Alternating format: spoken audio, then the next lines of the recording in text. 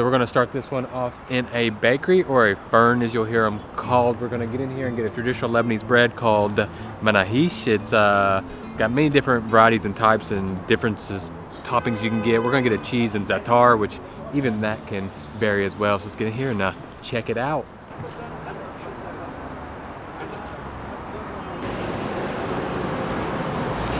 I haven't even walked in, I just walked around the corner I got wafted with fresh bakery bread smells. Ooh wee. The bakery is called Forn Al Asil. Forn means oven or forno. And they are one of the best bakeries in Byblos. We're gonna try the half thyme, half cheese.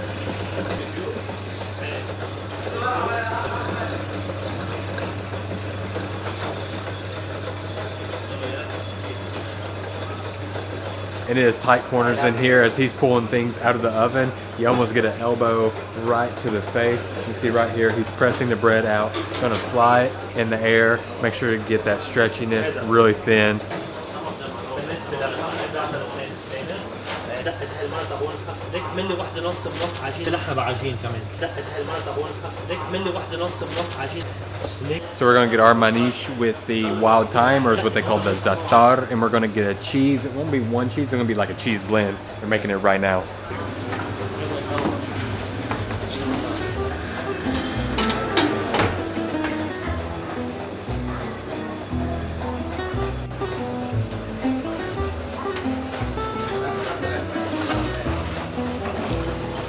Like I said, these are like the bakers for the city of Byblos. Dinko, I've been here 20 years of expertise, just moving around perfectly.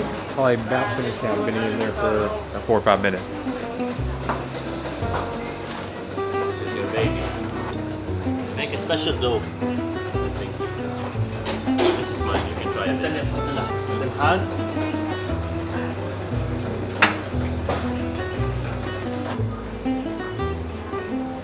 Uh, thank you, my friend. Oh, yes. That aroma is just insane. I can't even really, I'm to sound like a broken record how much I'm just talking about how aromatic the wheat product is here in Lebanon. Just want to open it up and show you before we get after it. But you can see, got that nice cheese blend here. Look at that steam coming off there. That za'atar, you see all the sesame seeds. I've heard in Lebanon they do put some sumac with their za'atar mixture. It looks like it's just actually that wild thyme and oil and sesame seed though. Let me put that back, wrap it, cradle it like a baby, and try this out.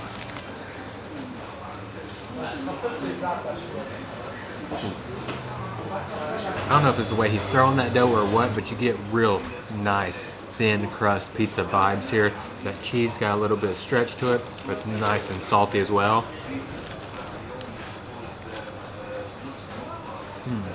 Wow. You get into the middle of this, you get to that za'atar, and it just explodes with an aroma, tanginess, salty, with that warm, loving, stretchy dough, melty, oily cheese. This gets better when you work towards the middle.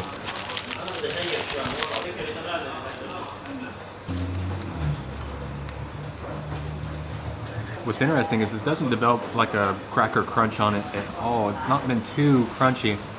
Maybe a little bit on the end, but really it's that elasticity, that gluten, that doughiness that's so appealing with this. Yo, I was just trying to get some B-roll and he brought me over a spinach one, a little triangular spinach one.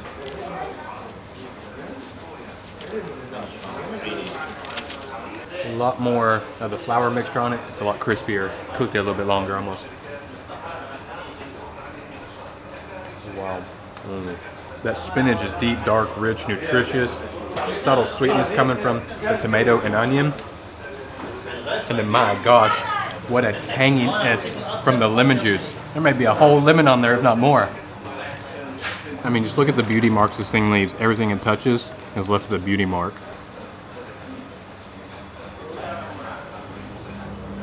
Oh my gosh, that za'atar cheese though. I keep, I think I say the name of the right.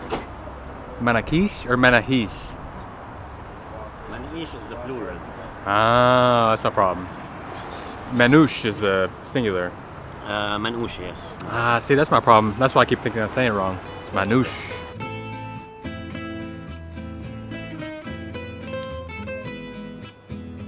So we're now down here in the old souks area of Byblos. Uh, you can tell this street alone four to 500 years old. And Byblos is famous because it is one of the oldest cities in the world that was continuously inhabited, said to have started around 6000 BCE. So there is a lot of history that's going to go into this charming little city.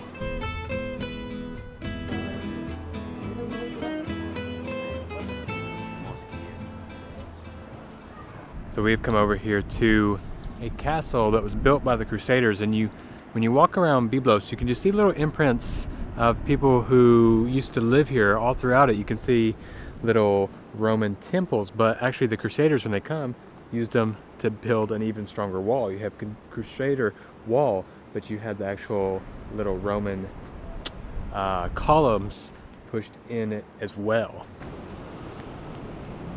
Now, y'all may know I'm not really a history buff guy when it comes to just like landscapes and cities and who ruled things and what, but when you really come in Lebanon, it, it's it's so intriguing because you see the the Roman columns, you see the castle fort that the Crusaders built. You can see the mosque when it was under Islam rule. It's I mean I think anybody can appreciate the beauty and fascination from all the people that once lived in this area.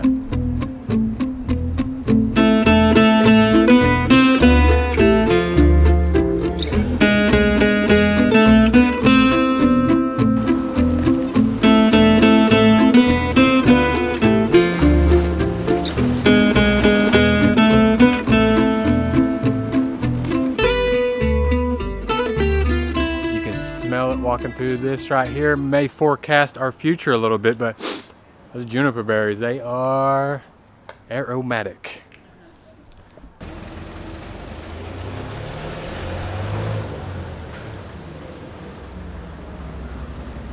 Uh, what a charming little seafood restaurant we're going to, like nooked in a little corner right here. You got the Coliseums right next to it across the street as well. Oops, let's get in here, not fall down that. It's got seafood.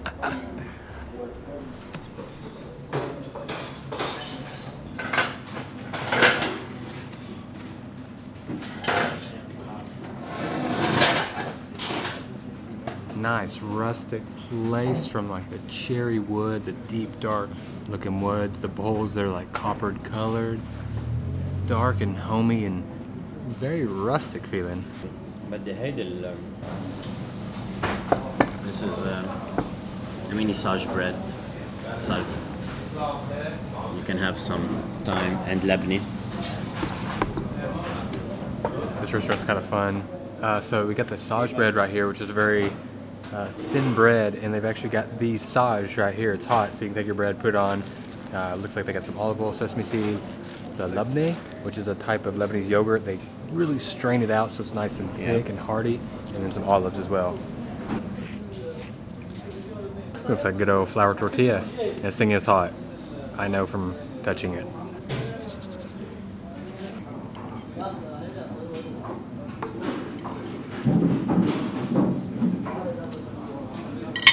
Clearly my first time I didn't fill up my bread, and that is za'atar with the oil.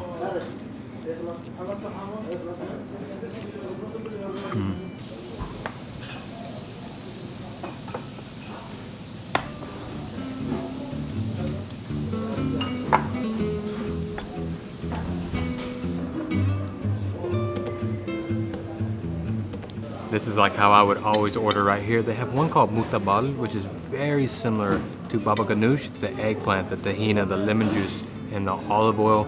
But you can see it's almost been mixed and mashed, slightly different.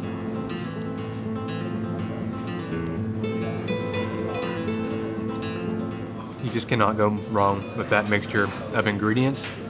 I really like how they've almost just forked out that eggplant and slightly mashed it. It's not pureed, but you'll get chunks of that eggplant, that tahina for the nuttiness, the richness, olive oil for that kick, and then the lemon juice really comes in at the end with a nice sour tang.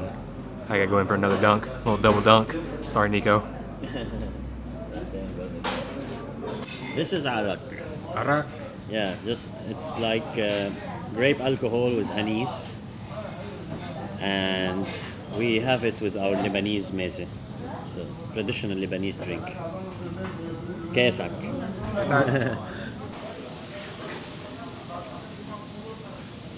Oh, that little shot goes a long way. Okay. Whew. Ah, thank you. This is they offered you this. But what is it? It's um, cheese rolls we make. How- It's similar to spring rolls, but we filled it with Nakawi cheese and a bit of mozzarella maybe, and we fry them.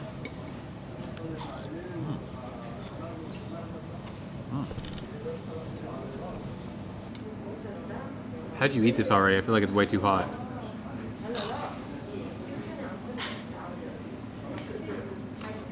Not much to love about that. Intense salty cheese, melty, stringy like mozzarella, wrapped in like a fried little phyllo dough almost.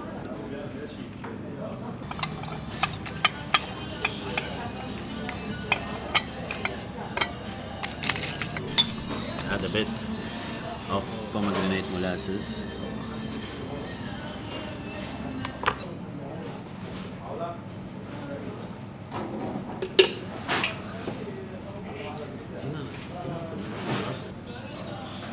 That's pretty cool. chicken liver, potato cubes with coriander, Lebanese sausages with pomegranate molasses, and small bites of meat with apple and pomegranate molasses. Look at it. Oh, we got sauces all throughout, tomatoes. It's easy to spin. It's like new fashioned turntable.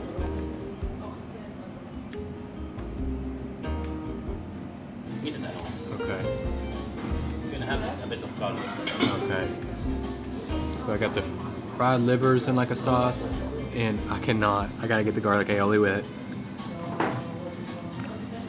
I really did not need the garlic aioli at all. I kind of feel bad for doing it. Huge chicken livers though. It's like a lemony pomegranate tangy sauce coating them. Or bake it.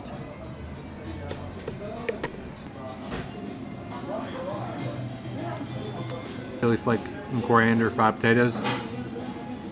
Dipped in garlic aioli. I'll stand no chance against me.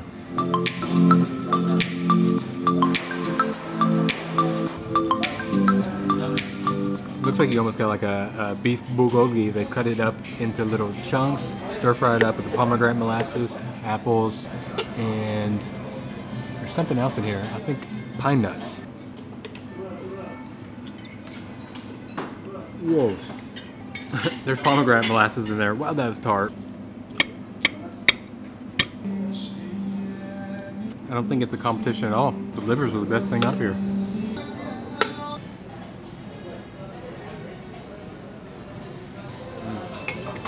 Mint chocolate. That's good. Uh, y'all always wonder what I don't like. I don't like mint chocolate ice cream. I feel like I'm eating toothpaste. I hate it. They give it here complimentary for dessert. Well, at least we got a cinnamon bark here as our spoon.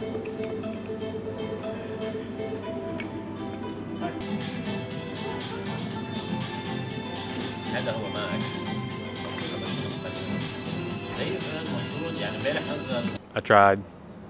Couldn't do it. One bite. Ugh.